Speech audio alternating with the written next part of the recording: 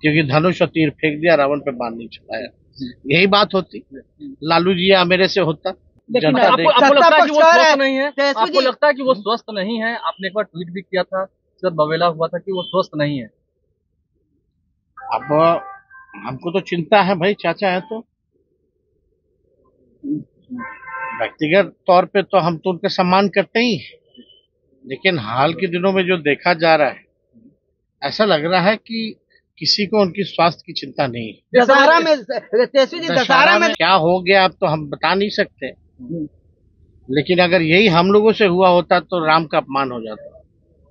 क्योंकि धनुष और तीर फेंक दिया रावण पे बाँध नहीं चलाया। यही बात होती। लालू जी या मेरे से होता। लेकिन फिर भी चलिए एक हो सकता है कि उम्र का प्रभाव जो है वो दिखा है। लेकिन इस पर राजनीति हम करते नहीं है। ये अलग विषय है। तो एक सवाल यह है कि जिस तरह से गिरिराज सिंह यात्रा पर निकल रहे हैं आपने भी चिंता व्यक्त की है।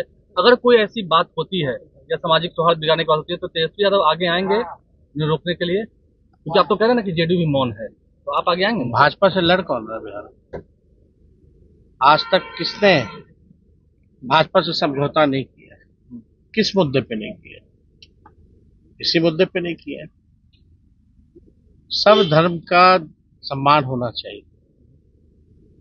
केवल नफरत फैलाने की राजनीति नहीं होनी चाहिए।